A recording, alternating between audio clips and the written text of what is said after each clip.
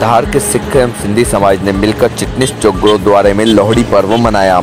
इस पर्व में नवविवाहित जोड़ों ने लोहड़ी का पहला साल बड़े ही हर्षोल्लास से मनाया, जिसमें जसबीर सिंह सलूजा, हरकिशन सिंह कपूर, गुरु शरण सिंह रिंग नवविवाहित जोड़े शामिल थे।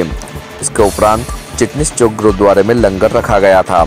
लोहड़ी पर्व के उपरांत श्री गुरु गोविंद सिंह जी महाराज के प्रकाश पर्व के उपलक्ष्य में जागरण रखा गया।